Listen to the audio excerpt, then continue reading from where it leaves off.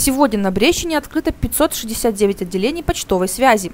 Около 4 тысяч почтальонов, операторов, водителей и других сотрудников почты ежедневно заботятся о том, чтобы письмо, денежный перевод или бандероль пришла по нужному адресу.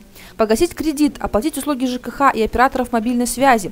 Эти и многие другие процедуры также можно осуществить в отделениях почтовой связи.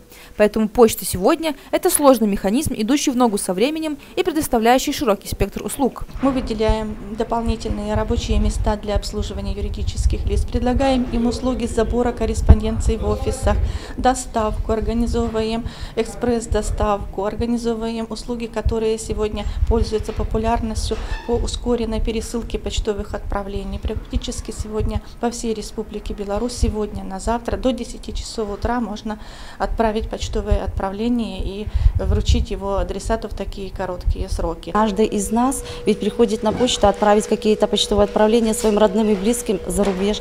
Каждый из нас сегодня пользуется услугами интернет. Э, многие из нас отправляют денежные средства за рубеж, поэтому почта на сегодняшний день, конечно, это актуально. Сегодня брестские почтовики приготовили для гостей и жителей города приятный сюрприз. В здании брестского филиала связи прошла торжественная церемония открытия почтовой лавки. Уникальная коллекция марок, сувениры и даже возможность сделать оттиск календарного штемпеля на приглянувшейся открытке.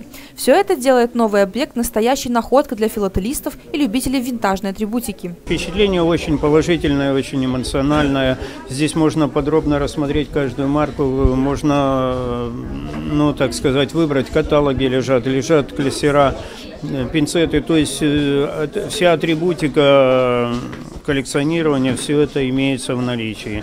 Наши филателисты, они очень щепетильные. Они когда приходят, все, каждую марочку рассматривают. Мне очень нравится с ними общаться, как бы они рассказывают историю создания, почему эта марка была выпущена в оборот. К слову, в почтовой лавке, пока единственной в республике, находится марка с изображением голубя, символом так называемой воздушной почты, которая была выпущена именно сегодня.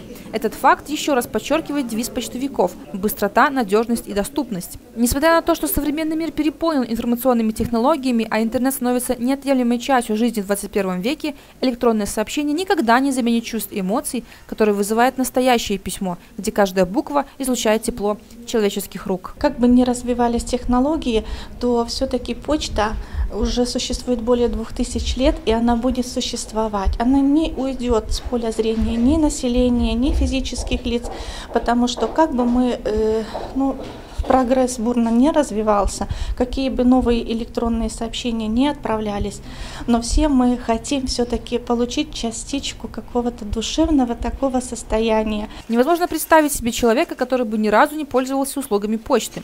Она поддерживает связь между людьми, дарит радость общения с родными и близкими, друзьями и коллегами, соединяет человеческие сердца и судьбы.